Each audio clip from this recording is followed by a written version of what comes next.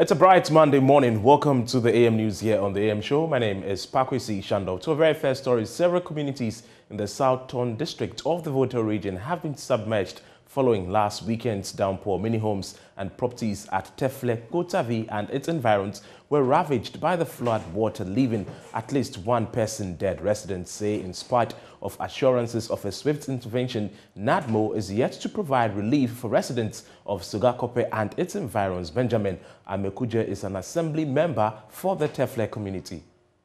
Uh, this is uh, a flood that is being uh, dangerous with Tefle people here.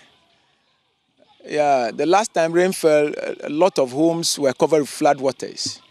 So what we're seeing here is a very big flood that runs through the town into people's homes, and we need assistance to get the flood out of the town. And drainage systems must be put in place to take the water out of the town. So far, what steps have been taken by your leaders? Mm, yeah, leaders are in the known. The other day, when this disaster happened, I called the NADMO people. They came and took photographs and they left. And they told me, together with the chairperson, that they will be giving assistance in forms of mattresses for people who are being displaced and they never returned. They never came back? They never came Have back. you tried to reach them? Yeah, I tried to reach them yesterday, but the calls were not going through. How about your MP? And Yeah, I called MP, He's yet to arrive. But this he told me he will be in town on Monday to assess the situation. Yeah. So that How the floods. does this happen? Oh, it's perennial. It's every year, twice a year. Like what we're doing now, this June, May, uh, thereabout, then we see flood in town. Yeah. So, what's your appeal to your authorities?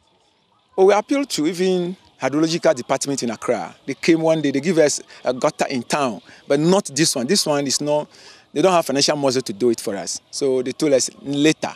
So it's about 12 years now, they never returned from hydrological department from Accra to help us. So that's where we have. Expectation, your appeal to government. uh, government must help us to come out of this calamity. If not, lives will be lost again. Because we, we yeah, yeah, people get drowned. Even somebody drowned yesterday at Potama through the flood. Yes, at Potama.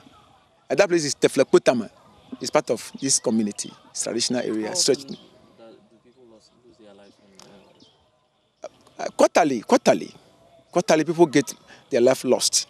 People died through the floods. They lost properties, cattle, chicken, all gone through the flood. Yeah, the goats are all gone. Yeah. How urgent do you need a solution to this? immediately we need the, the solution to this problem immediately because we don't know what happens tonight rain can fall again heavily and it's not going down it's coming up yeah, into people's homes so we need assistance now yeah government has come to the aid of Tefle people so that we can also see the share of the nas- uh, national cake